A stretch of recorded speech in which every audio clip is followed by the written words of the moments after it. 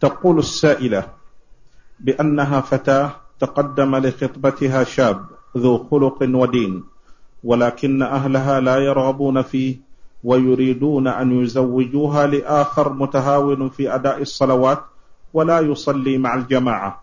فهل إذا رفضت هذا الخاطب الذي يتهاون في أداء الصلاة يعتبر عقوقا لوالديها؟ لا لا يعتبر عقوقا لوالديها. حق الاختيار لها هي. ولا يجوز لوالديها أن يجبراها على رجل لا ترضاه في دينه أو في أمانته وأخلاقه.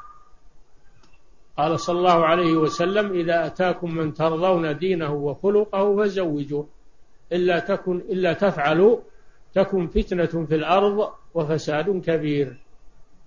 فإذا تقدم للمرأة ذو أمانة وذو دين ورضيت به يجب على وليها أن يزوجها منه. أما أن يمنعها فهذا عضل. هذا هو العضل المنهي عنه.